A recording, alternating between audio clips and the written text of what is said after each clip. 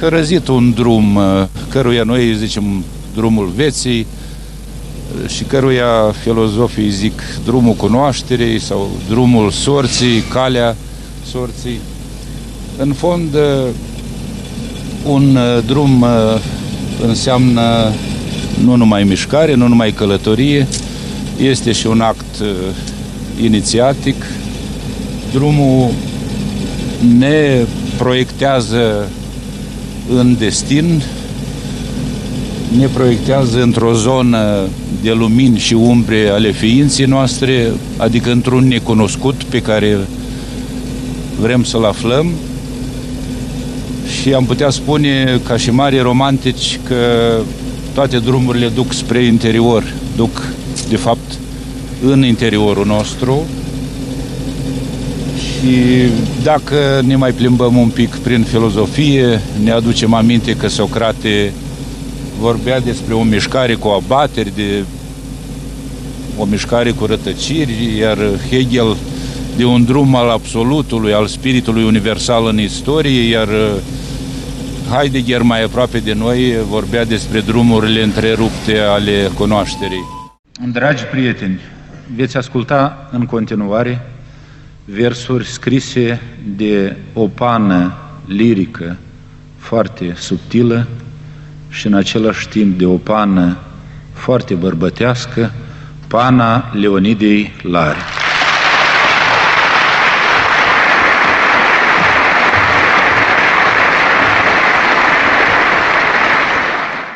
Cred că sunt uh, două premize ale uh, consacrării mele cărții. În primul rând, în uh, deci podul casei părintești, printr-o minune, s-au păstrat cărți românești.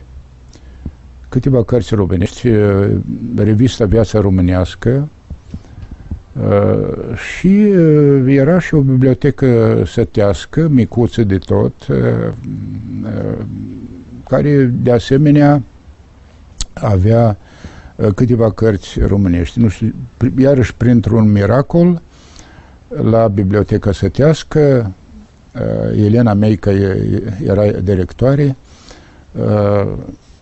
se păstra un volum sau mi se pare că două volume pe care le-am văzut apoi la cineva, uh, din uh, ediția Perpesicius, deci mare ediție academică, deci iată, acolo nimerise uh, un volum, volumul 5, dacă nu mă înșel, și probabil și asupra mea a avut o influență și tatăl meu, deci m-a modelat în sensul că era un cititor, el citea duminică, citea în afară de Biblie, mai citea și cărți artistice și era un bun povestitor.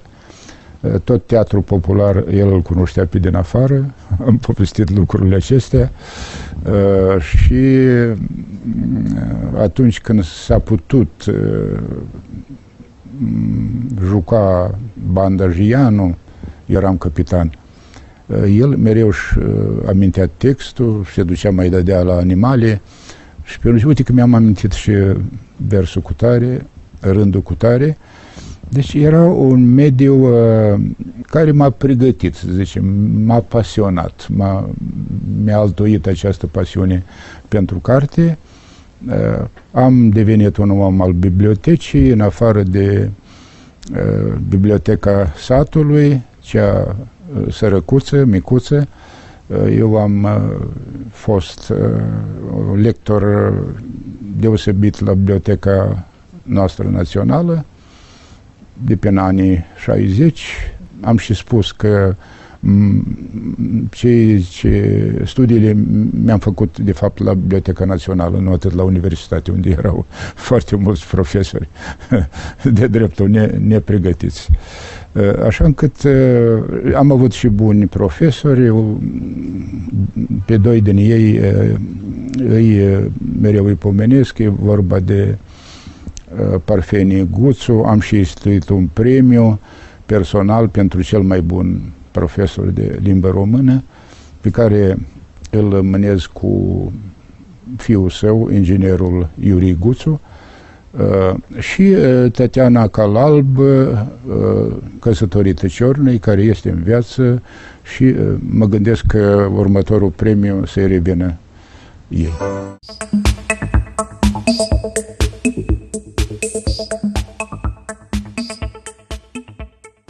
9 februarie 2017, uh, proiectul național Arhiva de Voci, organizator Institutul de Filologie al Academiei de Științe a Moldovei și Biblioteca Națională a Republicii Moldova.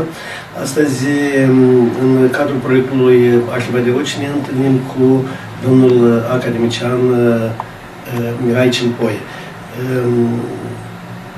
Um, Stimate domnule Cimpoi, fiecare dintre noi, plecând în lumea largă, își reamintește foarte des despre locul unde s-a născut, despre satul sau localitatea, mai bine zis. Foarte simbolică denumirea are satul dumneavoastră Larga. Da, iată, vedeți că de acum facem un joc de cuvinte, plecăm în lumea largă de la larga, da? Uh, și bineînțeles că uh, Larga se revendică și ea ca toate satele românești uh, de la Ștefan cel Mare. Este și feresc. Cu toate că pe harta pe care o deținem din perioada lui Ștefan cel Mare, satul încă nu este fixat acolo. El după câte știu eu, din istoria pe care a elaborat-o istoricul Ion Varta, care mi este consătean, a mai fost și o istorie ceva mai înainte, elaborată de Vasile Gajos, încă în perioada sovietică, dar, după cum se știe, pe atunci istoriile nu prea erau agreate de oficialități și un, el a adunat material, dar am impresia că nu a reușit uh, să uh, editeze uh, această istorie. Eu repet așa un gând al meu în privința istoriei satelor, că de fapt e o afirmație și a lui Iorg, eu o, într-un fel o reiau, sau cum se spune acum o reiterez, deci micile istorii fac mare istorie. Deci istoria satelor este parte integrantă din marea istorie a țării, mare istorie românească, luată în ansamblu ei, timp de două secole, de la Daci încoace, ă, așa încât ă, în perioada sovietică tabuizarea istoriei satelor ă, era, făcea parte din acea metodă vicleană de a ascunde adevărata istorie. Totul trebuia să înceapă de la 1917, de la Da, Mare Revoluție. Mare Revoluție da. Socialistă din octombrie, despre care acum chiar și rușii în enciclopediile lor zic că a fost și lovitură de stat. Că există deja o interpretare mai nouă și există și un banc referitor la această revoluție, zice, uite că rușiți îți dați dracul că până și revoluția din octombrie au făcut-o în noiembrie. Deci e și aici așa o, o încurcătură, o dicotomie, așa, să zicem, cu, să folosim un termen filozofic, dar să revenim la satul Larga. Satul Larga, care inițial cred că a fost a purtat o altă denumire, îi zicea probabil Dumbrăvița și mama mea, deci bunicii mei de fapt sunt din Dumbrăvița, bunicii materi. Tatăl meu însă este din Păltiniș, din Cuzlău și el e venit în sat, e un fel de venetic așa, s-a căsătorit în largă și porecla lui e și foarte frumoasă, fiindcă așa cum se obișnuiește în satele noastre, toți au poreclă și umoristul nostru, distinsul nostru umorist, Petru Carare, spunea pe la întâlnirile cu cititorii la care am participat și eu, spunea că, zice, uite, o epigramă este o poreclă, el așa a explicat, deci porecla are statut de, de epigramă. Deci tatăl meu zicea Ilie Română, dat fiind că... Română fiind lui porecla. Da, e porecla lui. Da. Uh, și spre, nu știu, spre tristețea lui, cu toate că el a fost un familist și așa extraordinar, îi se zicea Ilie Argenii, de fapt Ilie, adică a soacrei, a bunicii mele. Bunica mea a fost foarte înțeleaptă, ea vorbea de fapt în, în childuri, vorbea în aforisme. Da, în childuri, da. Da, da, childuri, da, da, da, da, da, da. Ea așa avea niște vorbe înțelepte care așa le, le folosea foarte des. Ehm, din păcate, ehm, am murit ehm, așa la o vârstă nu prea înaintată, de tetanus. Și, de fapt, ea m-a crescut așa, fiindcă părinții erau pe câmp mai mult. Și eu, așa, modelarea mea intelectuală, ca să zic eu așa, de, de mic copil, o datorez bunicii mele. I-am și găsit certificatul de naștere la arhiva noastră, e născută în 1860 și a fost înțeleapta, înțeleapta satului, așa era considerat. Uh-huh. Acum, dacă e vorba să vorbim de tatăl meu, da, și chiar vreau să vă întreb, tradiția noastră ne povestește și astăzi că tânărul care s-a căsătorit în satul și a rămas în satul soției, ar fi trebuit să îmbrățișeze toate legile, toate, toate obiceiurile ce sunt în casa socrului. Păi da, sigur că, dar ele nu se deosebeau, obiceiurile din Larga nu se deosebeau de cele din Păltiniș. Satele sunt și foarte aproape. Am fost... Păltinișul, Botoșani, Suceava, de acolo? De, da, da, da, este, deci la, dacă luăm așa în linie dreaptă, satul meu este nu departe de satul lui Grigore Vieru, Pererita, este pe malul Prutului, satul lui Grigore Vieru, el mereu accentua, accentua acest lucru, este vis-a-vis -vis de miorcanii lui Ion Pilat. Iar în linie dreaptă, Păltiniș sau Cuzlău, e o mahala a Păltinișului, nu departe de Rădăuț Prut, deci este imediat o localitate uh, vis-a-vis -vis de Lipcanii uh, de pe malul acesta. Și uh, bineînțeles că e o distanță foarte foarte mică. și aici a intervenit o așa o un eveniment extraordinar atunci când i-am murit frații. Tatăl meu nu a putut pleca la înmormântare din simplu motiv că se admitea plecarea pe malul celălalt numai dacă se la deci satul din care plecai nu, erau la o distanță mai mare de 20 de kilometri. De la Hotar. De, de la Hotar. Ori satul meu tocmai se afla așa la o distanță mai mare, pe vreo 5 km pe urmă, sau 2-3 km. Și el n-a putut pleca, vă dați seama, la mormântarea fratelui său. Dar acum a ajuns tatăl dumneavoastră din Păltiniș, să se căsătorească cu mama Foarte simplu, el a, el a făcut armată în largă, deci el era angajat, rolat în armata românească și era, deci, distribuit la largă. E foarte, foarte simplu. Și în discuțiile dumneavoastră cu mama sau cu tata, nu i-ați întrebat niciodată cum s-au întâlnit ei? Nu am avut asemenea discuții. Este însă un detaliu, cred că semnificativ și diferența de vârstă dintre ei, fiindcă mama mea a ascuns că ea era uh, mai tânără cu, uh, cu vreo 9 ani uh, și ascundea faptul ăsta, uh, căsătorită la 16 ani.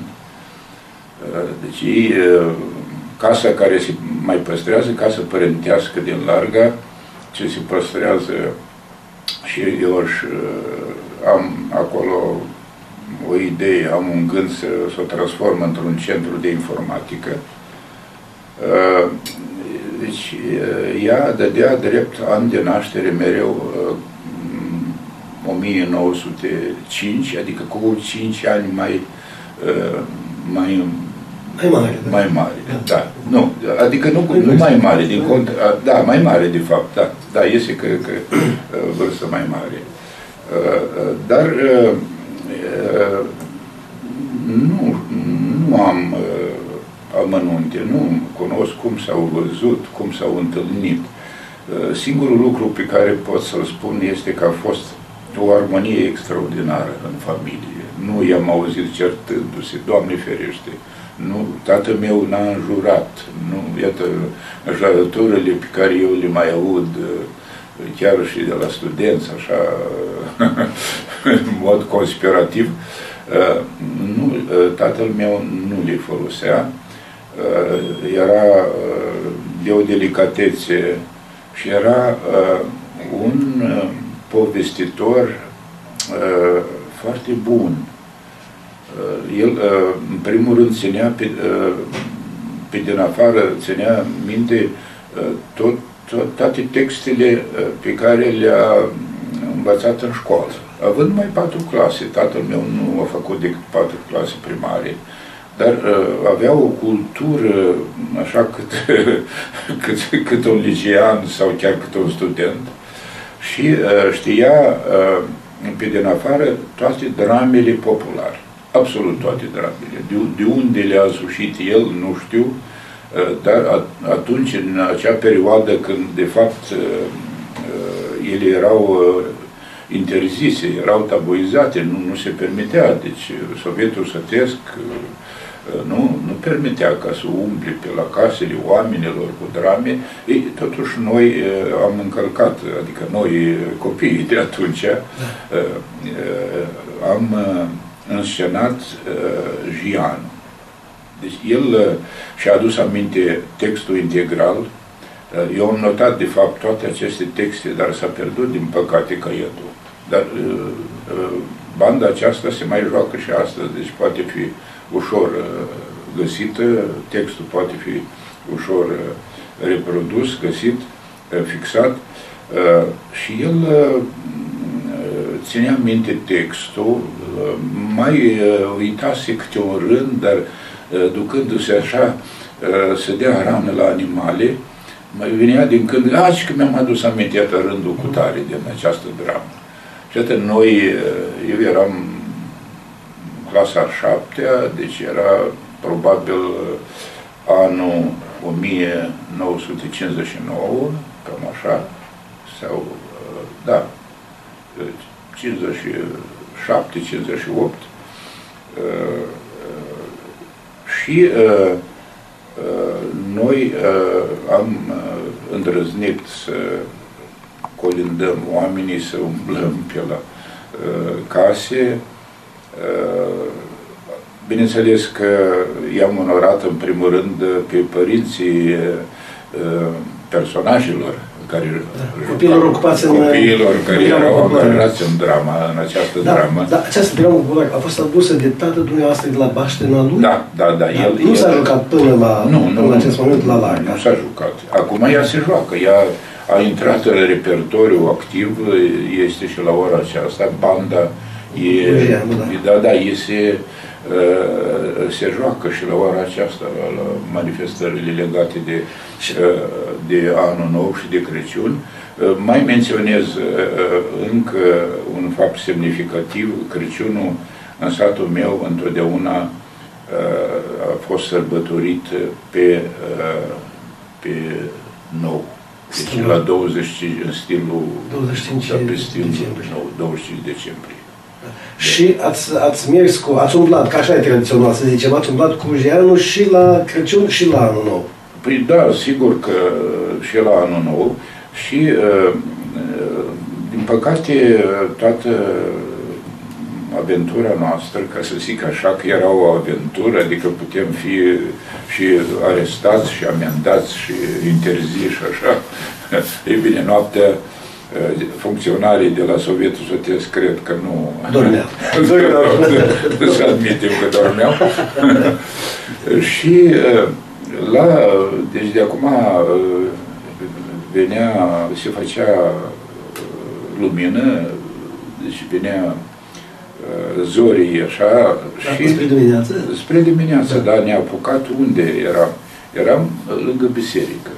Biserica din Larga este o biserică de lemn din 1898, poartă hramul uh, Sfântii Trăim, uh, Troița, uh, se păstrează foarte bine și a funcționat tot timpul, chiar atunci când erau interzise bisericile, fiindcă sătenii mei au apărat-o. Nu au permis ca ea să fie închisă.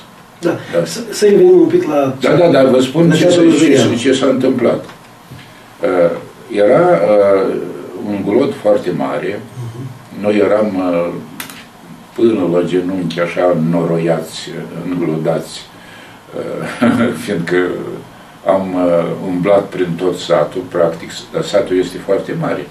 Și la ora aceasta are aproximativ 5.000 de locuitori, deci sunt uh, eu, uh, fiind angajat prin uh, campanii electorale, știu că satul meu are 4400 de electori, de ale alegători.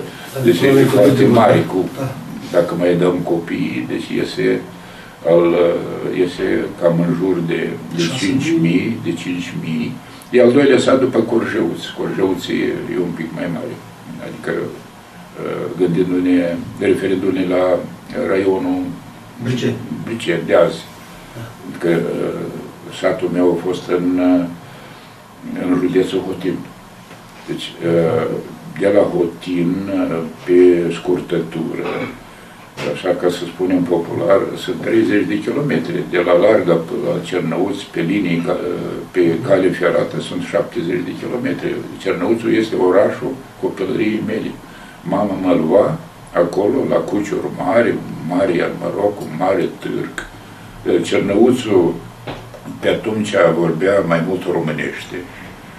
Mama mea vorbea românește, dacă îi se răspundea ucraineană, ucraineană, ea înțelegea și dacă ucraineanul nu înțelegea, nu știa românește, ea încerca așa, așa anumite fraze ucraineană, dat fiind că satul meu e înconjurat de sate de ucraineni. Deci, uh, actualul raion Chelmești, sau Chelmențe, cum îi zice acum, Deci este chiar alături, este în imediată vecinătate, avem la vara asta și un post de vam acolo, vamal. Deci iată că eram în județul Hotin. De la Hotin se aducea o bere foarte bună și era un drum direct de la Larga peste dealuri care ducea direct la Hotin și Cernăuțul e mai face un ocol, trebuie să faci un ocol ca să aduci la Cernăuț. Dar la Hotin se ajungea foarte ușor. Deci, revenind la uh, pățania noastră, deci uh, Ceatologian, da? Da, uh, nu, Câte personaje în moment, erau vreo șapte, opt, probabil, da, cam așa. Și dumneavoastră ce ați jucat? Eu eram capitan. Eram capitanul și mi-am luat așa, m-am îmbrăcat într-un într-o pelerină, într-un fâș de asta, cum se zicea mai târziu, ca să arăt ca capitan. Deci eu mi-am pus și epoleții respectiv și era o pelerină așa lungă, mai lungă decât trebuia. Nu știu, cred că era taică meu sau era cumnatul meu, nu știu. Cumnatul meu era învățător. Și ajungem și la cumnatul meu un pic, fiindcă și, da, haideți să încheie Pățania cu, cu Bandajian. Deci, acolo, între biserică și școală, vă spuneam că ele sunt situate așa în imediată vecinătate, de o parte a drumului și de alta. Și, deci, avea probleme o, un camion acolo. Deci, era glod enorm, glod greu și el... Buxie. Da, da, da, patina. Patina. și noi, haide să ajutăm camionul să iasă din, din glodul acela, din, așa, să împingem ca el să, să poată ieși. Și nu ne-am dat seama noi că situându-ne în, spatele în spatele roților, ne, am fost împroșcați cu noroi încât de acum nu se vedea cine e capitan și cine e alt personaj. De acum eram toți în, aveam aceeași vestimentație plină de noroi, sigur că ne-am întors acasă, ne-am spălat și în felul acesta, iată, e o impresie așa a mea din copilărie, cum am încheiat-o noi cu, cu, cu ratul. Cu... Da, și vă amintiți acum măcar două, trei fraze din, din rolul dumneavoastră de capitan. Cum începeați? Cum porunceați? Ce porunci aveți în, în, în cadrul ce bandii? Oricum, capitanul, deci, făcea așa un pas înainte, așa cum se face în asta și deci el comanda acolo, nu mai țin minte acum da. textul, bine, dar deci se juca așa convențional cu pasul înainte, pasul, deci fiecare personaj atunci când intervenea, când trebuia să, să spună rolul, să spună textul, deci făcea un pas înainte, așa cum se face și acum, probabil. Da, de, de obicei, la, cea, la ceata lui Geanu, tot stau așa într-un rând. Sunt, sunt pasați da, într-un da, da, rând. Noi, da, noi, noi, noi stăteam care face, rând. Așa da, este, da, da, da tradițional. Da, stăteam da. în rând, eu eram primul, eram capitan și eu... Da, în tot nordul da, Basarabiei, da, da, așa da, e. Da. Și am zis că dintr-un interes, asta ar putea fi restabilit da, da, drama, da, pentru da, că da. este vie și astăzi. Este vie, este da. vie, se joacă în continuare. Deci este, și în afară de Geanu, și, uh, uh, sigur că sunt uh, și alte uh, alte drame populare. Ce ați mai văzut dumneavoastră acolo? Vorbim din perioada aceea când, când dumneavoastră erați. Nu, ceea ce, deci ați văzut dumneavoastră ca martor. ceea ce pot să vă spun este că satul era plin de tradiții. Deci mama mea, care nu, ea nu avea prea multă carte, dar ținea minte toate obiceiurile, toate datele, toate evenimentele religioase pe care le respecta cu sfințenie deosebită. Sfântul Ilie, Simedru, Sfântul Dumitru, Sfântul Gheorghe. La ea era totul absolut înregistrat în mintea ei, ă, așa pe zile și chiar pe ore și absolut ă, toate tradițiile acestea ea ă, le respecta, era evlavioasă, sigur că frecventa biserica, se ducea la biserică. Tatăl meu era credincios, dar era așa mai, mai temperat și citea Biblia în fiecare duminică, deci duminica era ziua lui de lectură, ca să zic eu așa. În afară de Biblie, nu știu prin ce întâmplare în podul casei se mai păstrau niște cărți românești. Nu știu de unde au apărut ele, probabil de la vreun bunic al meu, dar erau și reviste din colecția vieții românești. Deci, iată, eu le, le țin minte. Viața românească era și foarte, și mai multe cărți, nu prea multe, dar era așa o mică bibliotecă pe care eu am păstrat-o foarte mult timp. Adică anumite cărți cred că mai sunt și astăzi. Uh, și, uh, iată, tatăl meu, marele povestitor, uh, s-a a făcut casă bună cu maica mea, care era țesătoare. Era neîntrecută țesătoare și ea uh, organiza și clăcile uh, tradiționale la tors, la uh, scărmănat, lână, acolo, știți, și ea, dar la alesul desenului, ea zicea că aici eu, nu. Nu se consulta cu nimeni. Deci ea prefera să aleagă singur desenul pentru covor. Are și acum, avem covoare și se mai păstrează, din păcate casa mea, acolo au mai intrat în ea, au mai dispărut lăicerele ei, covoarele pe care le-a țesut, dar se mai păstrează la sora mea care uh, s-a prăpădit uh, acum 2 ani, la o vârstă foarte înaintată, de 87, din diferența dintre noi fiind de 14 ani. Întrucât, iată, ne amintim și de sora mea, vreau să vă spun că ea avea puțină carte, dar temeinică și a putut funcționa și la poștă. Din păcate, pensia ei era de 640, fiindcă lucrase în gospodărie, colectiv, în colhoz și colhozul neexistând la ora aceasta, deci fondurile care trebuiau uh, pentru pensie, deci ea avea o pensie foarte mică, uh, dar se descurca, o foarte bună gospodină, era ca și maică mea și ca și taică meu.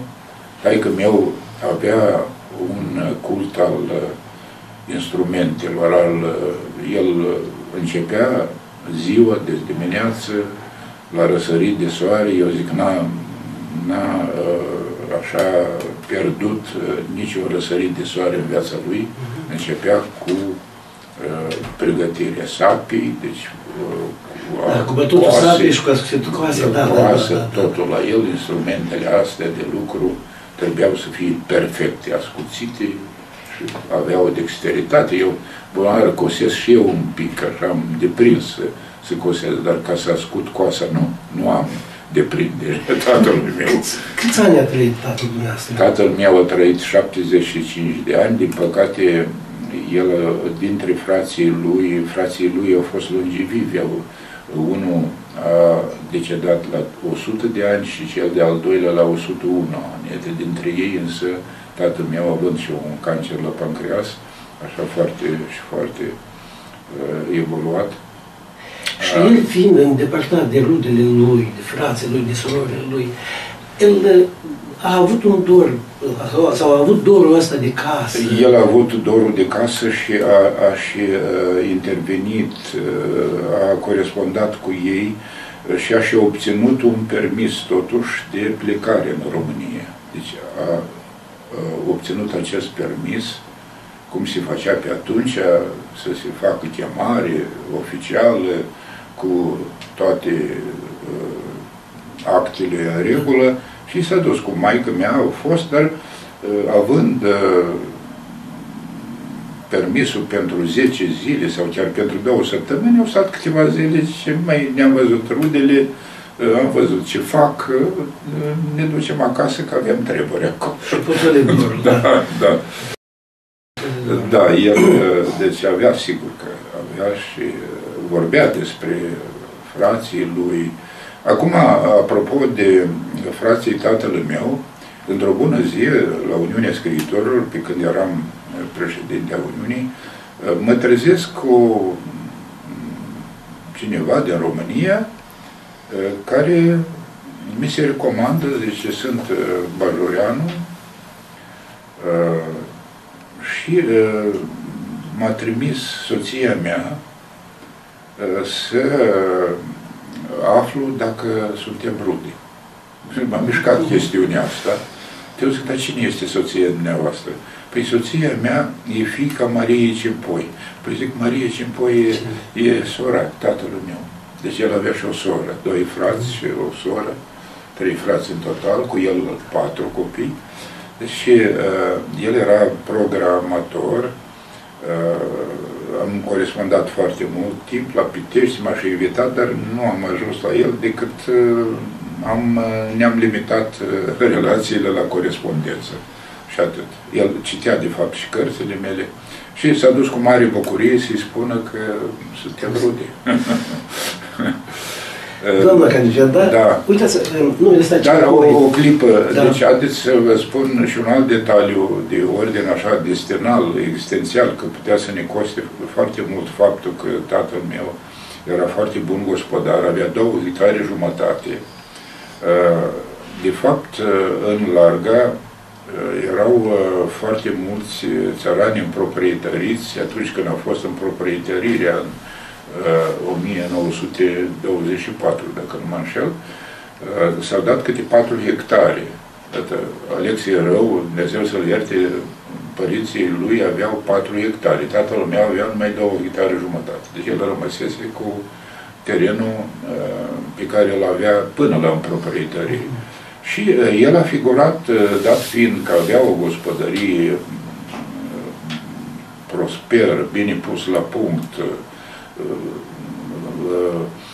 darul ăsta de a gospodării și cultul ăsta pentru pământ l-a avut și sora mea și Andrei Strâmbeanu, colegul meu, când a văzut grădina ei, știți, curată, frumos, nici o buruiană, nimic. Băi, zice, acum zic că mi îmi dau seama de unde vii tu.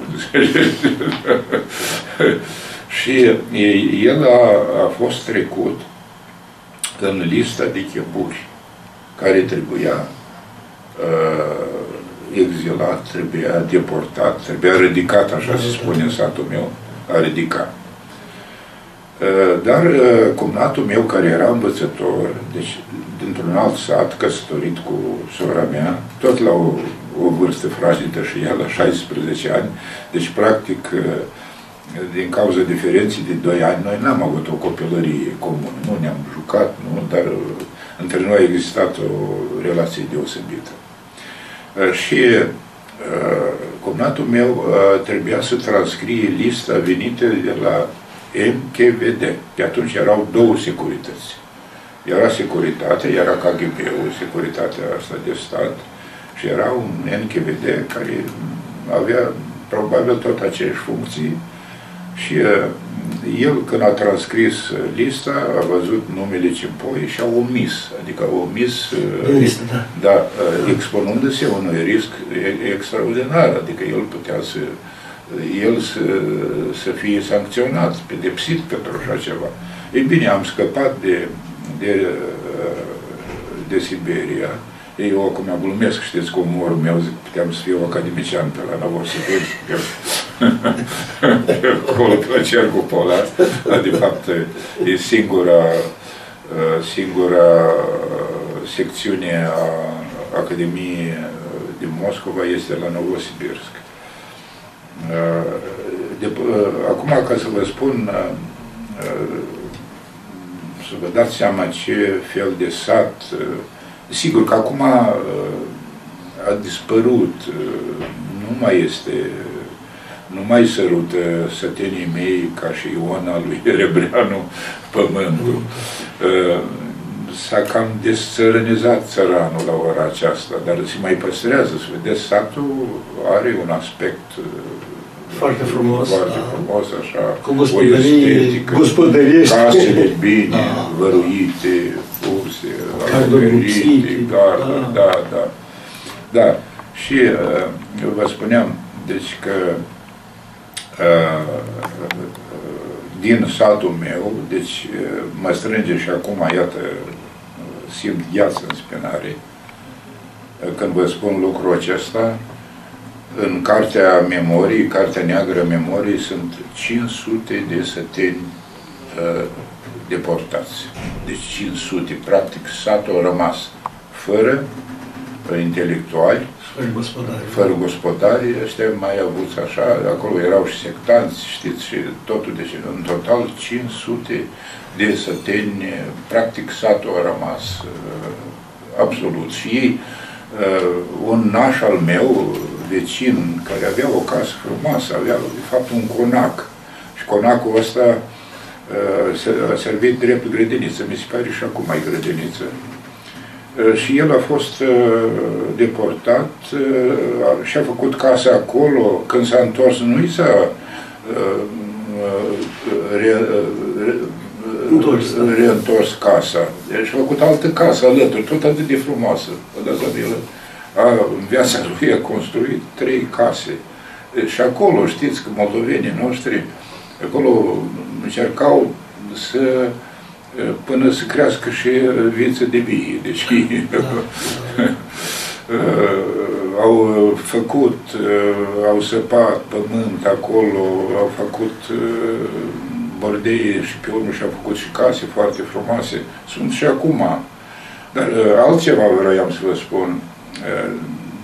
Iată, din rândul acestor 500 de lărgeni, fac parte vreo 64 de uh, rude ale lui Serafim Urecheanu, fostul primar Al orașului Chișinău, Chișinău, da. care sunt în relații foarte bune.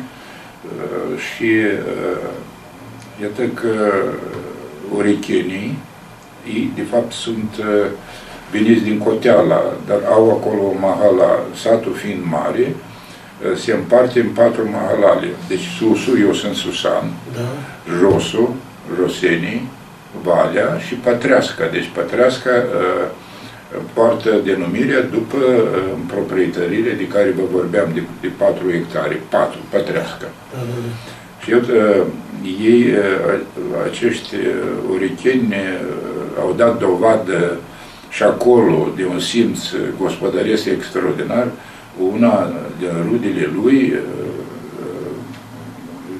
Uricheanu, este și la ora aceasta rectorul Universității Tehnice din Curgan. S-a afirmat și acolo, vă dați seama.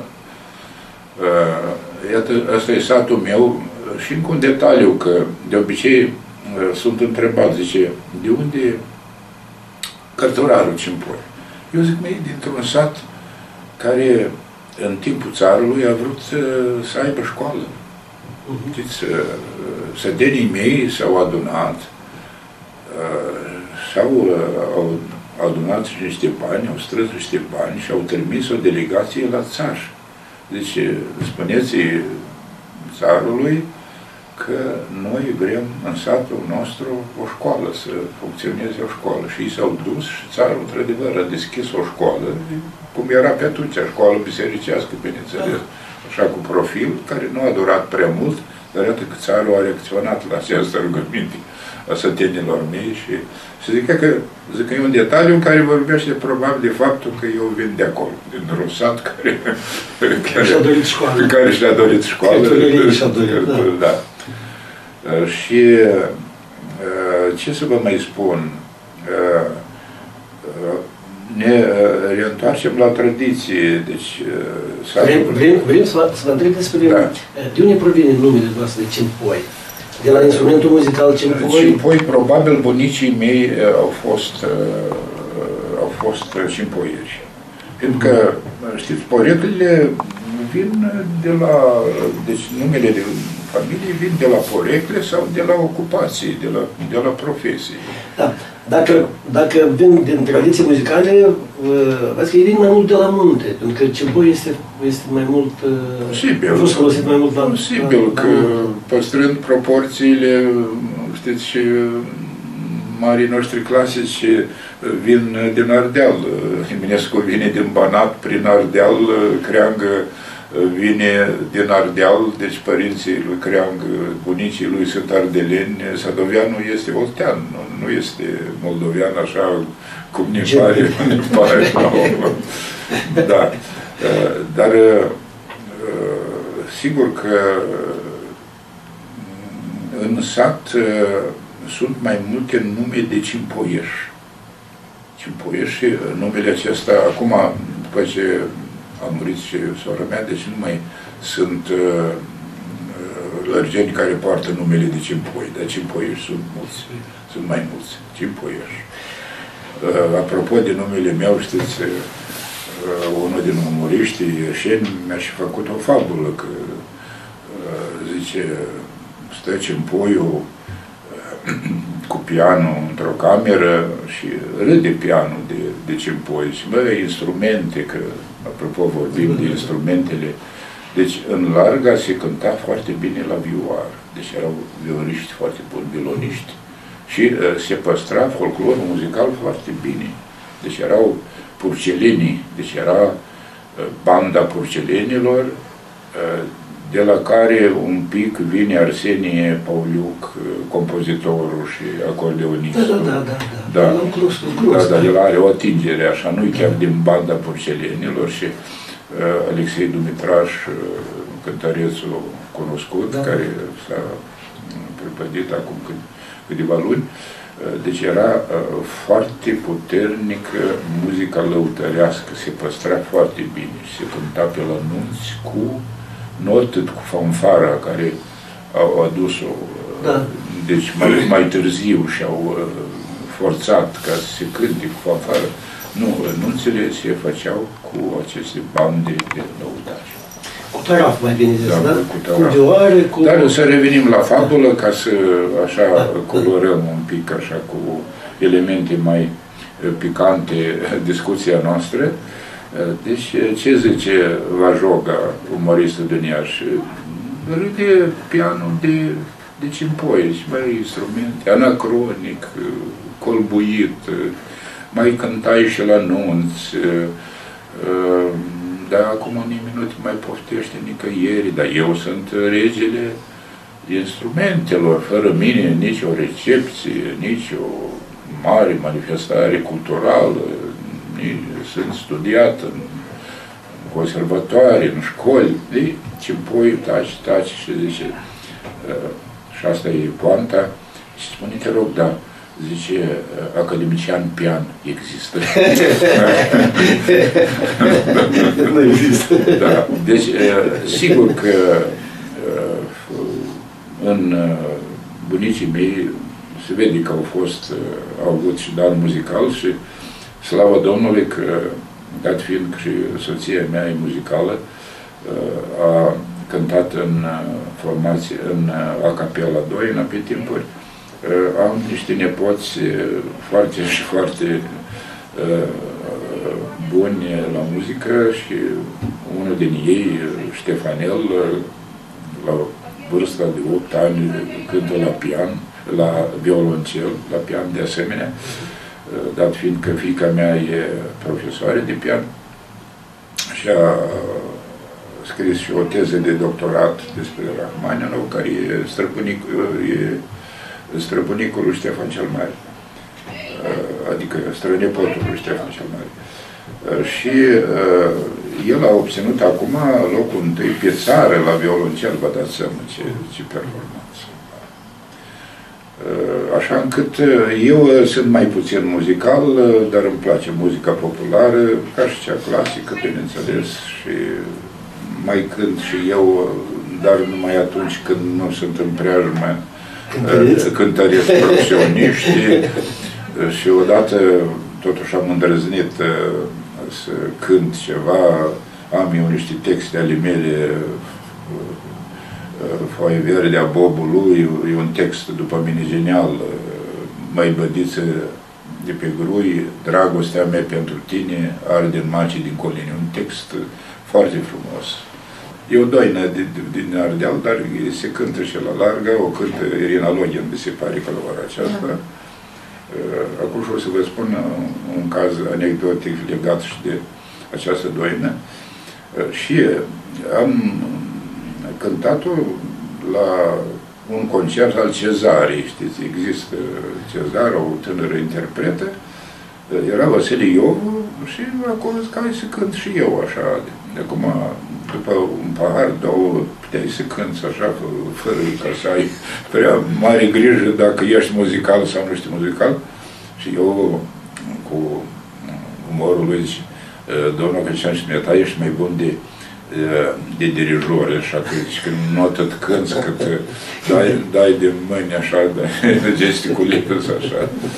Da, și apropo de această uh, doină, e, e foarte frumoasă, mai puțin cunoscută la noi în spațiul Basarabean, și eu, fiind la un spectacol la Teatru Satiricus, împreună cu Ignațiu Ibarra, fostul președinte a Uniunii Fenosa, care cântă foarte bine cântece populare spanioli. Și el fiind basc, de fapt, așa, dar cântă cântece populare și după un spectacol pe care Teatrul Satiricus el consacrase lui și spectacolul se juca în limba spaniolă, ca el să înțeleagă acolo. De fapt, era o, mai mult un muzicul, așa, era un o, spectacol muzical, așa, pe Carmen, motivele Carmen de Bizet, dar și stând noi acolo la o masă de băieți, așa, un par de vin, trebuia să vină și primarul de atunci, Orecheanu, care, care era în relații bune cu Ignacio Ibarra. Ignacio Ibarra a cântat niște cântice spaniole și zice, ia cântați și voi ceva, cântice populare. Bineînțeles că actorii de la Satiricus nu prea știau cântice populare. Ei iau la gitară, la Sergiu Finiti, cine mai este da, pe da, acolo, da, da, da. muzică de asta, așa, folk, mai mult. Și atunci eu m-am apucat, dar eram foarte răcit. Atunci foaie râdeau babăl și facă, ci? Da, măi, bădiță de dragostea mea pentru tine, ci arde în marge din colini. Ignațiu Ibarra se uită la mine și foarte interesant mod de interpretare a muzicii populare. Și prima dată văd așa ceva. așa că m-am produs și ca, ca și cântăreță. de cântăreță. Doamna Cădmeja, cum da. chemat mama dumneavoastră? Ana. Ana. Ea s-a căsătorit la 16 ani. Da, la 16 ani, în 26, deci vă spuneam că ea este din 1910, la 26 s-au căsătorit, la Doi ani a apărut uh, Iar din ce mea. vine? Din ce viță vine mamaș? Și cum era familie de fată mare? Uh, uh, familia, adică după bunicul da. patern, era Haburiac, așa ziceau în sat. A stabilit genealogistul nostru Cibucciu tot arborele meu genealogic, el era de fapt din, deci un bunic era preot, era din uh, prelați, din uh, un bunica meu, Ciubotaru, care era, deci numele ei de fapt de fată, ca să zic așa, nu-i că e după, adică bunicii după soț, era uh-huh. Ciubotaru. Uh-huh. Uh-huh. Și uh, era din alt sat, era din Coteala, un sat. Da, cunosc din... satul Coteala, am fost acolo. Da. Deci vă spuneam, uh, haideți să revin un pic uh, la destinul mamei mele, care da, da știa da, da, da. toate rânduielile din sat. Nu era manifestare, zic eu așa mai livresc, în sat la care ea să nu participe, nuntă, clacă, botez și așa mai departe. De fapt, cam o pătrime, vă spuneam că satul este mare, uh, este, a fost conunată, botezată de, de părinții mei. Da. Și acum în sat, uh, mi se mai zice nașul Mișa. Așa era, eu când eram copil, era nașul Mișa da. în sat, așa e. Ei, acum se mai spune nașul Mihai, Uh, în uh, familie însă mi s-a spus Mihai și tatăl meu și sora mi-au spus Mihai tot timpul și apropo de insinuarea care s-a făcut uh, de Lucinski când ne s-a incriminat faptul că ne românizăm numele, nu sunt eu românizat în actul de, cu nume românizat, în actul de naștere eu sunt Mihai. Mihai Cimpoiu cu U acela care nu, da, da, da, nu da. se citește, da, nu da. se pronunță. Și uh, actul acesta mi l-a găsit Ion Gheorghiță, un poet uh, foarte bun uh, și un folclorist extraordinar, uh, care probabil în arhiva lui Ion Gheorghiță sunt toate textele astea, că el le, le, le nota, textele dramelor populare, el a reținut mai bine chiar decât mine limba care se vorbește larg, așa cu... Da, el este lărgean? La, el, el este cu uh, mama de la Coteala, dar lărgean. Mhm. Lărgean e născut în larg. Nu departe Coteala de larg, acolo vreo un kilometru. Un kilometru, un kilometru, da, da. Da, da. și el, uh, deci iată, mama mea uh, cunoștea toate rânduielile astea, deci vă spuneam că le păstra cu sfințenii Uh, și uh, ea uh, era foarte sociabil, așa, îi plăcea să stea la sfat, îi plăceau horele, îi plăceau, deci absolut, ea, dacă ar fi așa fost să se nu se păstreze calendarele, nu? Ea le restabilea din memorie, absolut pe toate. Deci, uh, zi cu zi, de la anul nou până la alt anul nou, ea pe zile putea să reconstruie. făcut un calendar popular, un calendar și agricol și, și, agricol și, și tot. Absolut, da, da, da, da. extraordinar. Și, ea, câți copii ați, ați fost în familie? Doi. Deci eu, eu și sora... Mai, mai în vârstă decât... Uh, da, cu 14 ani mai în vârstă. Deci ea e născută în 28, eu în 42, deci distanță de, de 14 Ați absolvit 10 clase în sat?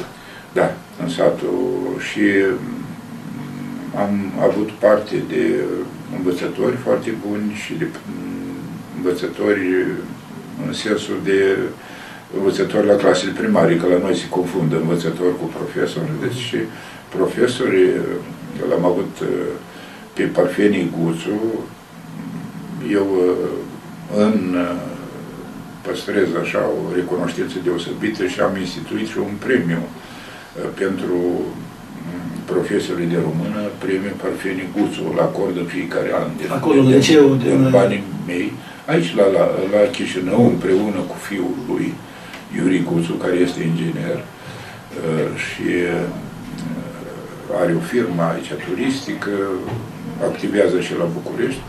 Și atunci noi acordăm acest premiu în uh, onoare, în cinstea acestui Parfeni Guțu, care, învățător fiind, profesor fiind și de acum dându-și seama de interesul meu pentru literatură, pasiunea mea pentru literatură, mi-a dat dicționarul explicativ, dicționarul ăla în patru volume, care îl avea numai el mi-l-a dat mie elevului și ia dicționarul ăsta, cred că o să ai nevoie de el. Și el uh, își mai permitea să ne vorbească de legăturile noastre când până oară ne-a predat Dan, capitan de plai, ne-a întrebat în clasă, zice, de unde este, unde este născut Dan, capitan de plai, care el uh, nu este moldovean, dar eu, uh, citind foarte atent textul, am spus că am ridicat mâna, zice, dincolo de Milkov, zice, uite, vezi, iată elevul care citește atent și înțelege textul. Deci el ne dădea De atunci, așa de înțeles că noi facem parte dintr-un întreg mai mare. Ardelean, da? Da, da, da, da, da, da, Ardelean, sigur că.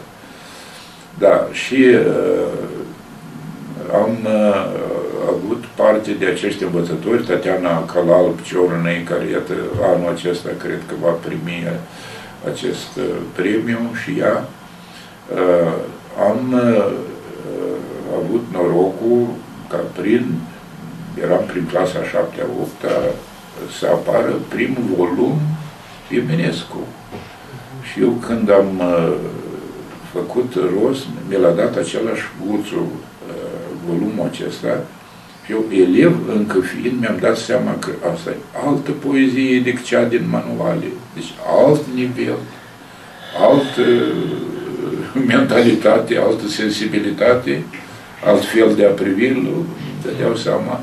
Și atunci mă apropii eu de, de Parfenie Guțu, îi zic Parfenie Nicolaevici, dar noi îi ziceam așa, după dialectul de țară, Parșin Nicolaevici, să zicem, fâul ăsta, uh-huh. care, zic, eu aș dori să uh, recit uh, ceva din Eminescu la Olimpiadă, sau nu la Olimpiadă, dar la o serbare școlară. Și el zice, ia apuc-te și uh, învață Luceafăr. Oh. Și eu, iată, de atunci Luceafărul, dacă undeva particip și cineva din elevi uită vreun rând, eu îl restabilesc imediat. Eu sunt minte Luceafărul de atunci. Și, uh, Toate 99 de strofe Absolut, da? absolut. Uh, și uh, și acum, și apropo de folclor, am să vă spun o chestie extraordinară legată de Luceafărul. Uh, Luceafărul, eu l-am recitat și în, în cadrul unei olimpiade raionale, cum se obișnuia pe atunci, și era un uh, instructor școlar, un revizor școlar sau din, funcționar din cadrul uh, secției învățământ. învățământ și el își credea cu un, uh, o școală vine cu recitare luceafărului integral, deci că trebuie să ia locul întâi. S-a dat școlii din largă locul întâi pentru însuși faptul că un elev a recitat luceafărul integral. Dar uh, haideți să vă spun uh, un fapt mai puțin cunoscut. Uh, uh, există în uh, caietele, în manuscrise lui Eminescu, așa zisul caiet anonim, care nu e altceva decât o culegere de folclor basarabean. Cum a ajuns această culegere la Eminescu? Uh, lucrurile s-au descoperit târziu, abia prin anii 60. Cineva s-a ocupat de, de acest caiet. El uh, figurează și în uh, volumul 5, volumul ediții Perpesicius. Folclorul acesta, deci se bănuia că Eminescu fiind membru a două societăți de care uh, erau preocupate de folclor, ar fi fost el în Basarabia. Dar nu avem nicio dovadă în acest sens. În schimb, uh, s-a stabilit exact uh, cine a cules uh, acest folclor din Basarabia. Marele filozof Vasile Conta. Că este folclor basarabean, ne dovedesc localitățile, numele de localități. Asta este o dovadă sigură că folclorul este de aici, este cules de aici, din, din partea sud, și el este uh, transcris așa cu o, uh, o caligrafie de învățător, așa, uh, se vede acolo mâna învățătorului. Da, da. Ei bine, Vasile Conta a transmis caietul acesta surorii sale Ana Kernbach Conta, care era în corespondență cu Eminescu și el trimite la Universitatea din Berna, unde se afla Eminescu. Și Eminescu citește acest caiet și reține o comparație dintr-un bucată folclorică, e vorba de cânticul grecului, cam așa ceva, și reține comparația și era una între, și era una la părinți și mândră în toate cele, cum e fecioara între sfinți și luna între stele, reține din folclorul basarabean această comparație și o folosește în Lucifer. A revenit la ei, a mășlifuit-o așa, dar obsesiv, așa, avea obsesia aceasta, așa că noi, basarabenii, am contribuit la crearea acestei capodopere, care și acum stârnește interesul. Iată, în Italia au apărut două, două monografii despre Luceafăr, în ultimul timp. E o monografie a lui Marco Cunio, profesorul care eu l-am cunoscut, am dialogat cu el și care uh, uh, la Universitatea din Torino preda limba română în baza uh, versului Eminescu. A fost odată ca în povești. A fost. Verbul a fi. Da? studentul imediat, da, odată, adverb, da? povești, care? Echivalentul italian, acolo, povesti, ara, și în felul ăsta el preda uh, prin Luceafur și alte versuri, alte poezii Eminescu, preda limba română studenților. Uh, și mai vreți de faptul că una dintre monografii despre Luceafur s-a scris în India, a scris-o Zirica Vașani. Uh, și cea mai recentă monografie despre Luceafur, integral, deci 400 de pagini, scrisă de Giselle Vanese, profesoară de franceză la Calabria, uh, în Italia. Ea se scrie și în franceză și cartea, monografia a apărut în Franța, a apărut la Dijon. Dijon este baștena lui Jean-Jacques Rousseau. și tradusă și în, uh, în uh, românește, la Iași, am și lansat-o în uh, cadrul celei de-a cincea ediții a Congresului Unescologilor, uh, pe care eu îl organizez la Chișinău, la începutul septembrie, așa. Dat fiind că și sunt născut și eu pe acolo. La începutul septembrie. Da, da, da, da, da. da. Și uh, câteva cuvinte despre acest congres al unescologilor, uh, care, iată că mi-a venit tot în uh, linia pasiunii mele pentru Eminescu, născut în școală. Eu, încă fiind student, mă gândeam să scriu o monografie despre Luceafă. N-am scris-o. Uh, n-au scris-o nici mari critici. Călinescu n-a scris despre Luceafă un, un studiu aparte sau o monografie. Sigur, s-a referit numai în uh, uh, celebrele lui studii, în fundamentalele lui studii despre Eminescu, uh, dar uh, nu am scris, uh, deși am și fost la special la Cernăuț, orașul copilăriei mele, vă spuneam, la Biblioteca Universității, unde era foarte multe carte românească. Foarte multe cărți erau, cred că cel puțin 100 de cărți ale lui Iord acolo, cred că acum au dispărut. Era foarte multe carte românească fiindcă uh, Biblioteca Universității de la Cernăuț, pe care, mă rog, moștenește biblioteca lui Aron Pumnu, unde Eminescu era bibliotecar, uh, ea a fost și uh, biblioteca episcopiei din Cernăuț. Deci, Universitatea din Cernăuț, știți că a fost construită de metropolie. Uh, și uh, iată, în felul ăsta, deci uh, nu s-a realizat visul meu de a scrie despre Luceafărul, dar m-am gândit că ar fi bine ca în temeiul studiilor mele, ele sunt multișoare la ora aceasta, deci să mă autolaud și eu un pic. Deci eu de obicei fac referințe la uh, Caragiale, care îi scria criticului Mihail Dragomirescu, zice, cu animea la ce nu se pare că mai laudat prea tare, că mie nu mi se pare. Așa că mă autolaud și eu, dar nu prea tare. Deci sunt la ora aceasta, cred că mai mult de 10 cărți pe care le-am scris despre Eminescu și am, am ore Eminescu. Deci orele mele de dimineață sunt ore Eminescu. Am spus în, în anumite dialoguri.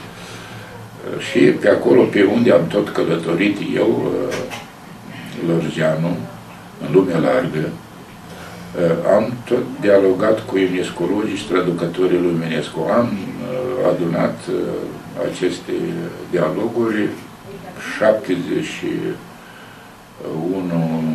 nu, 74 la număr, din 51 de țări, emiscologi traducători, uh, în volumul meu spre un nou Eminescu. Uh, și iată, uh, în temeiul studiilor mele am și realizat un dicționar enciclopedic Mihai Eminescu, unde vorbește despre folclor, dau și proverbele pe care le-a adunat Eminescu. Uh, uh, el avea, are și uh, poezii și în formă populară și același luceafărul pornește de la un bas popular, vorbește la fata grădina de aur, culeasă, de un neamț, acum s-a restabilit exact uh, biografia acestui neamț, era Cibotar, era din Bresla cezmarilor, fiindcă nemții păstrează foarte bine arhivele și s-a stabilit exact cine este. S-a tradus cartea lui de însemnări și iată că folclorul a, l-a inspirat așa pe Eminescu, nu numai sub aspect uh, Uh, procedeelor, dar sub aspectul concepției despre lume. Eu spun în această carte că, în fond, am și o carte despre ființa românească, uh, care pornește de la un proverb popular. Proverbul acesta este următorul. Să vedeți ce profund este. Și lumea e uh, o cumpănă cu două ciuturi. Când cea plină urcă, cea deșartă se coboară este uh, felul nostru grecesc de a uh, concepe lumea prin plin, nu prin deșert, prin uh, ca cei din Orient. Și atât la proverbul ăsta am, am pornit eu și am scris această carte a vieții. Cât privește dicționarul meu, iată, dacă mă ajută Dumnezeu, îl voi reedita, pregătesc și nouă ediție, completat foarte mult, dau și un glosar referitor și la literatura populară strânsă de Eminescu, fiindcă ea trebuie citită, acum sunt termeni care moldovenisme, germanisme rare și Eminescu cunoștea foarte bine și vorbirea populară, familiară, publicistica lui e plină, e foarte bogată și în neologisme, dar și în arhaisme și uh, cuvinte care, vechite, care nu mai sunt astăzi în uz. Și atât dicționarul ăsta e, eu mă mândresc cu el în ce sens? Că este și cam așa printre puținele din lume englezii neavând un dicționar enciclopedic Shakespeare, l-au făcut americanii, tot așa o, o ediție de autor în trei volume. Uh, francezii au numai o enciclopedie Balzac, nu și Hugo, poetul lor național. Uh, rușii au Lermontovskă enciclopedie, așa mai... Uh, Pușkin au însă numai un dicționar școlar, atât. Ucrainenii s-au dovedit aici mai harnici, mai așa îndrăgostiți, mai pasionați de poetul lor național în care, sigur că, așa, sincer vorbind, nu are nivelul lui, lui Eminescu, dar ei țin și țin la el ca la un poet național. Ei au făcut o enciclopedie întreagă în câteva volume. Deci au și organizat. Ei organizează foarte bine. Anul trecut, când am participat la uh, o manifestare Șevcenco, legată de aniversarea 202 ani, deci vedeți că ei nu se uită numai la datele rotunde, nu iau în considerație numai datele rotunde. Uh, deci am participat acolo 25 de ambasadori care au uh, recitat uh, versurile de Șevcenco în limbile țărilor lor. Și eu speram să vorbesc românește acolo, dar la ambasada Moldovei mi se spunea un interpret și eu, dat fiind așa, utilizând bagajul pe care l-am însușit eu când mergeam cu mama la Iarmaroace în Ucraina, deci am vorbit în ucraineană.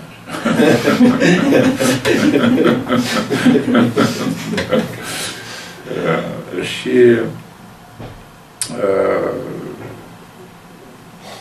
apropo de dicționarul meu, uh, slavă Domnului că la ora aceasta uh, deci și lucrările mele de cum au sporit despre Eminescu și nu numai, la ora aceasta am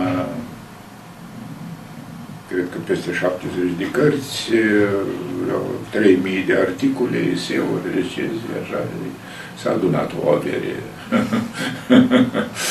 Cât de cât, pentru care sigur că aș putea fi așa trimis în Siberia cu, cu siguranță, că, fiindcă am avut și acest risc l-am cunoscut atunci când eram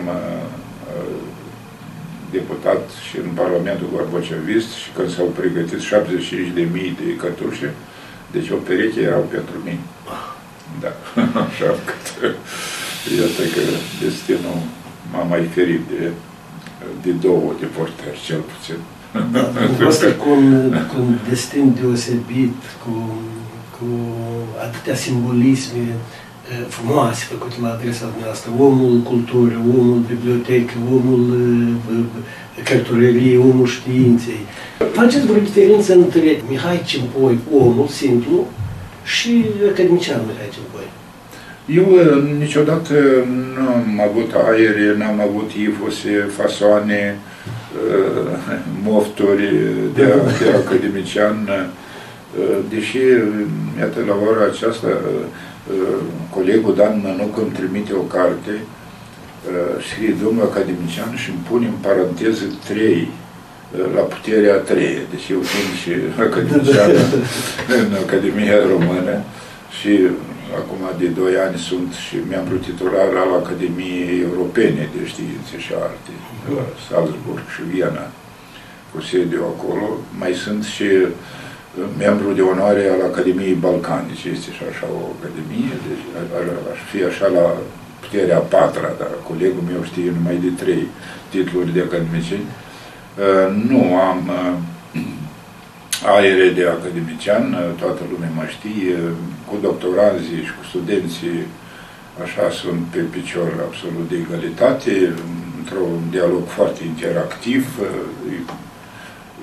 mai obligă așa să scrie și ei eseuri despre critici, despre Eminescu, același Eminescu. Și uh, faptul că, nu știu de ce, chiar când am fost votat aici, s-au pus și academicienii în concurs că trebuie votați de cine? De alți cercetători științifici, zic că sunt buni de cercetători sau nu.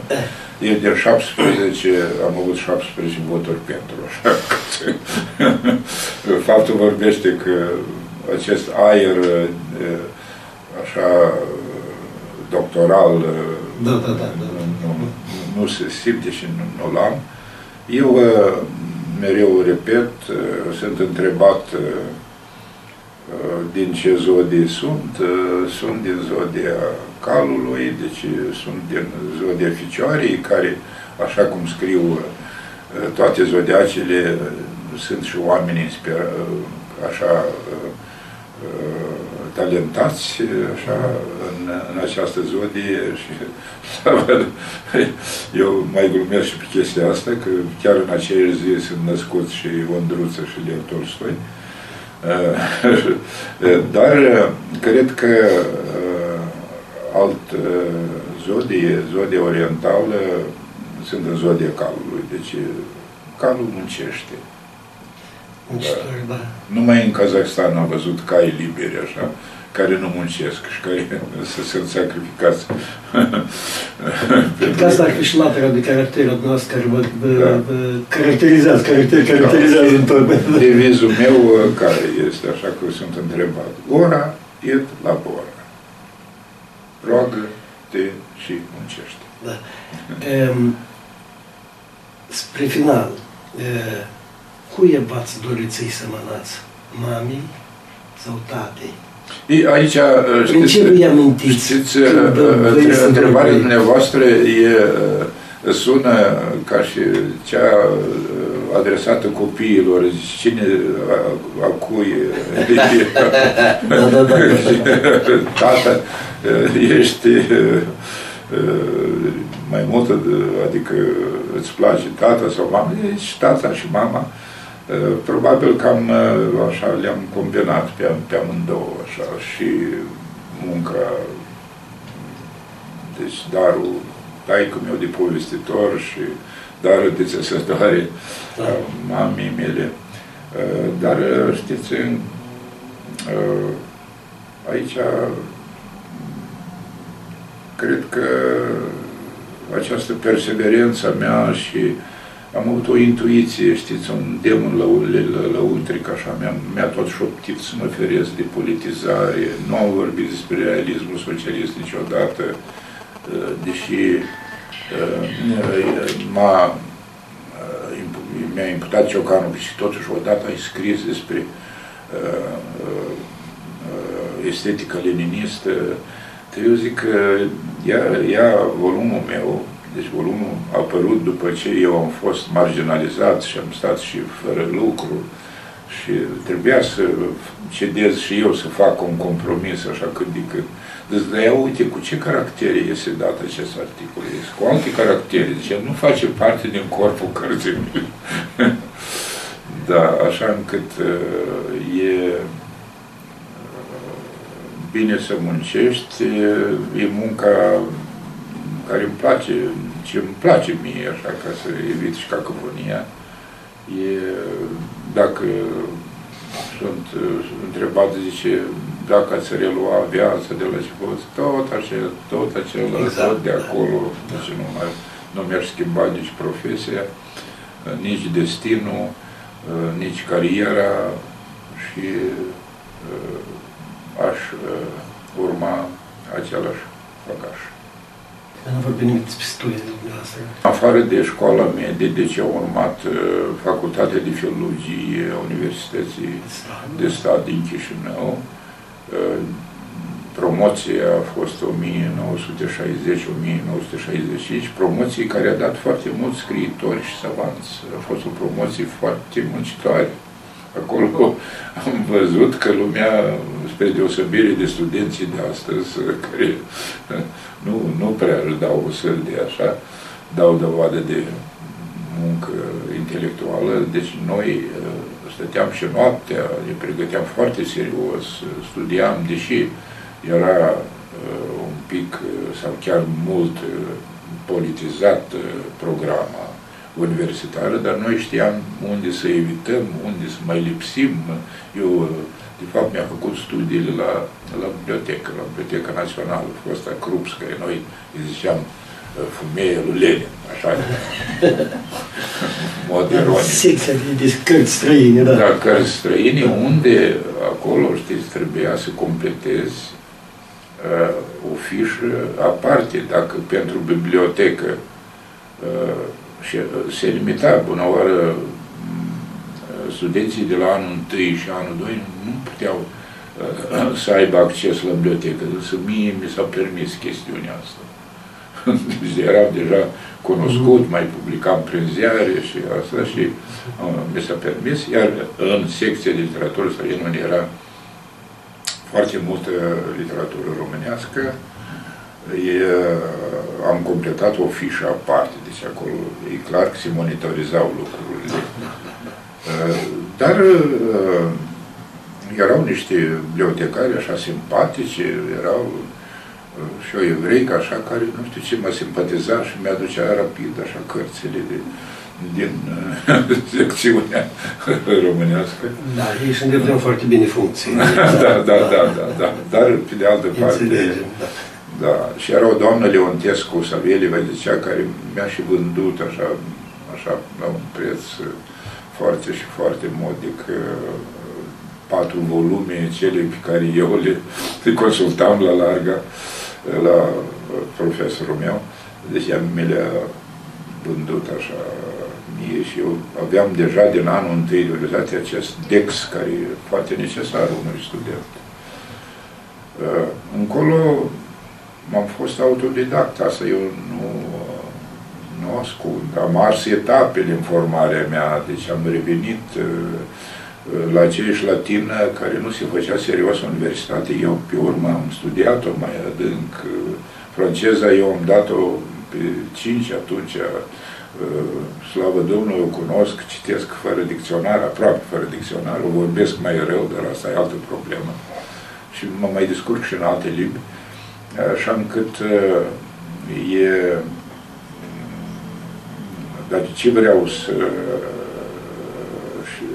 să menționez și le spun studenților mei că am un curs de critică literară la uh, Universitatea Academiei și am avut uh, acest curs de filozofia culturii la Universitatea Creangă și la Universitatea de Stat un timp.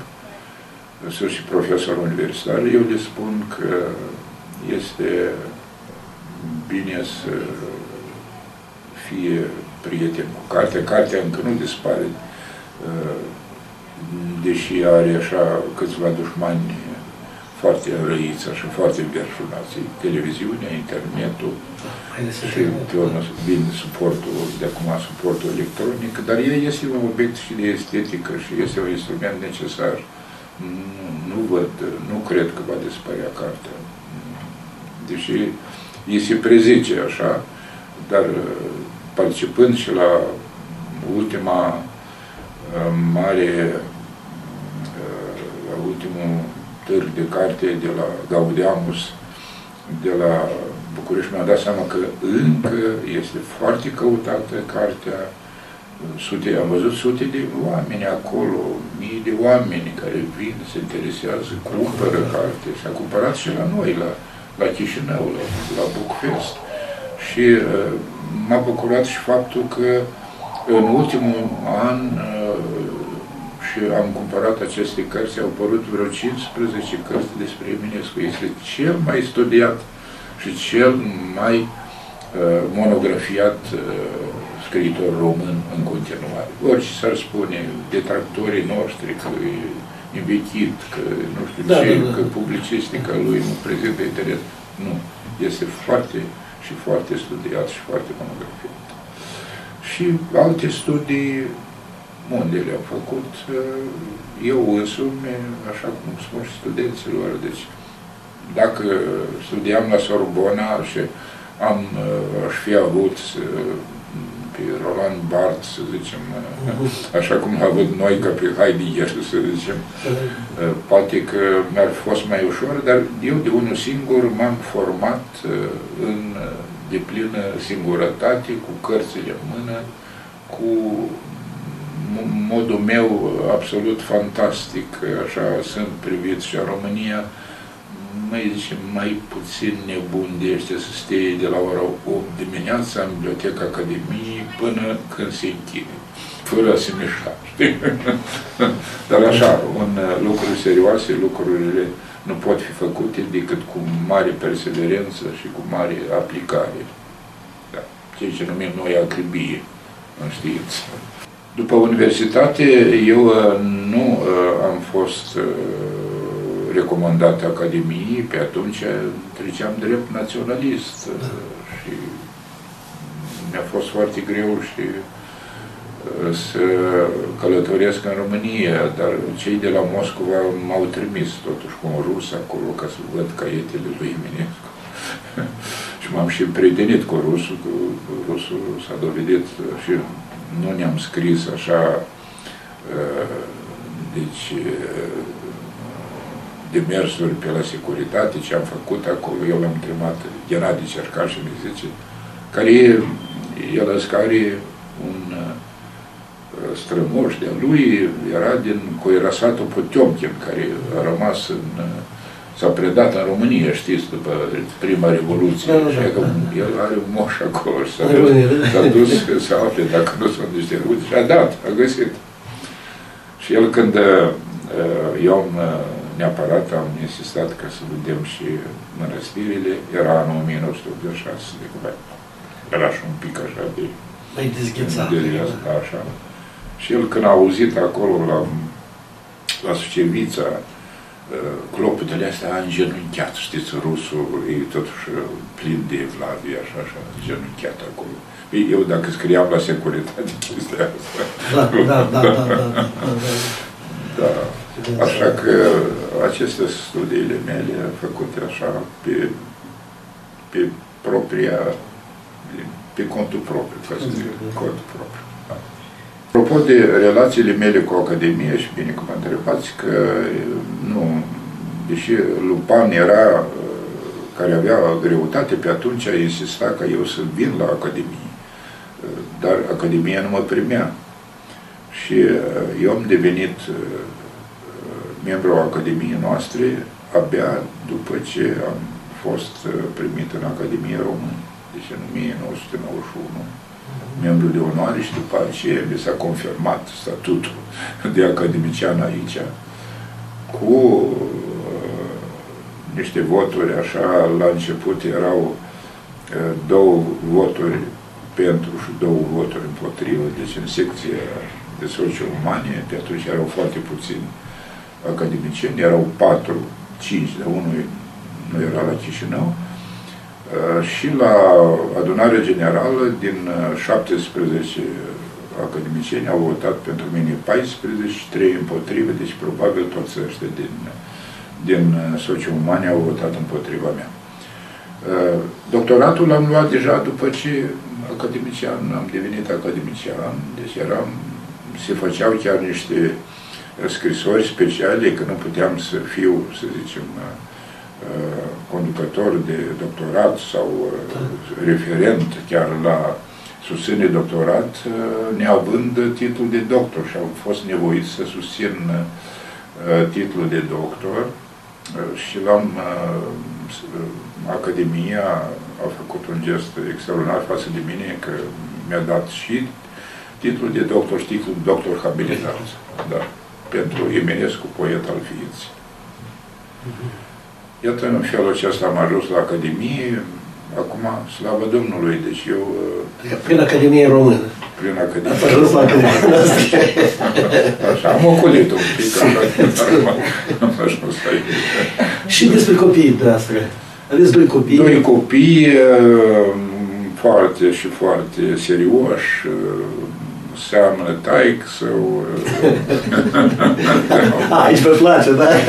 da Întreba eu mie cum cu ei pasturiții să vă Mai, mai să la talent, așa, la, la felul de a munci și de a, asta, de a lua în serios lucrurile înseamnă mie și îmi pare bine.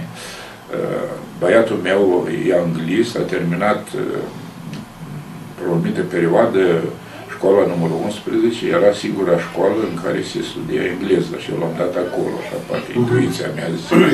și el a ales engleză, deci el este anglist, a terminat studii de engleză la Universitatea din București, s-a stabilit acolo, a fost cronicar literar și muzical, vedeți, și muzical la uh, Radio România. Uh, dar uh, a preferat așa, fiindcă acolo era și cam așa, nu prea bine remunerat, e interpret de engleză la un mare complex farmaceutic din Marea Britanie, deci la București. Uh-huh. Traduce uh, foarte bine din engleză în română și de română în engleză. Cunoaște și americana, nu, nu e o problemă pentru el, a tradus câteva cărți teza lui de licență a fost uh, Edgar Poe și poezia română, iar uh, fica mea, Cum îl cheamă băiatul? Doru îi zice. În ce an s-a născut? E născut în 1974. Iată, vedeți ce se întâmplă. Parcă moare uh, maică mea și se naște fiul, uh, moare taică mea și se naște fica. Uh, așa, dialectica își spune cuvântul. Uh, și uh, fica mea este Raluca, fiindcă numele era ca și cum predestinat, fiindcă eu scriam atunci în acest perioadă, scriam despre Eminescu. I-am înregistrat cu greu, pe atunci se considerau nume românești. Din păcate, eu credeam că măcar numele era Luca este în dicționarul doamnei Cosnicianu. Nu era atunci. Uh-huh. și atunci eu am, aici am, l-am apărat pe băiat, că mi se spunea de acum o să fie după tată, Doru, de la Doru, e greu de făcut acest. Dorovici. Dorovici, sau da, nu știu da, ce. Se sta că eu să-i zic Teodor.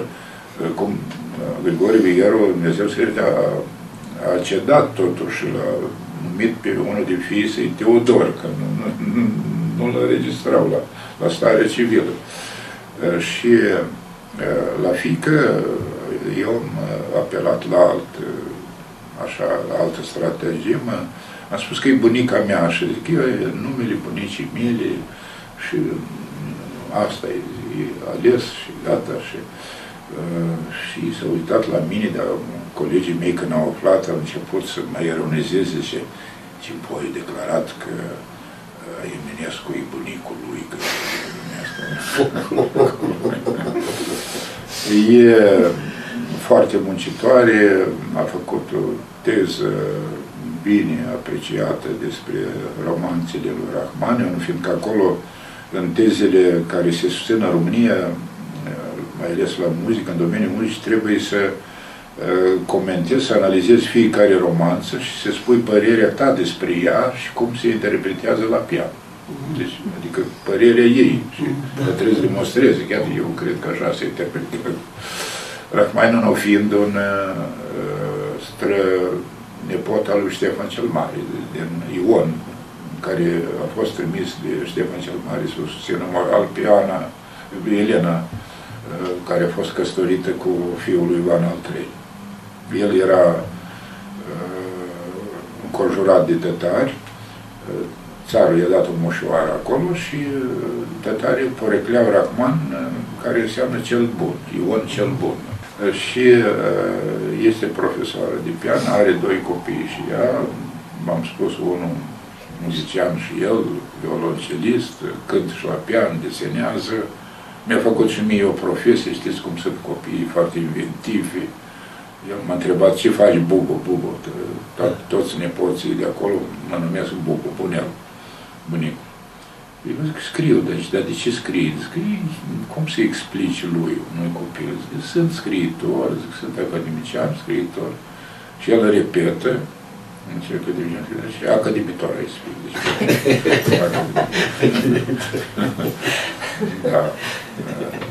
Și băiatul cu doi copii și el și-a făcut și casă, strângător, așa, nu Casa a făcut-o repede din blocuri gata, știți cum se obișnuiește acolo. La București. Nu departe de Otopeni, uh-huh. adică chiar lângă uh, complexul ăsta farmaceutic unde el lucrează de acum de câțiva ani.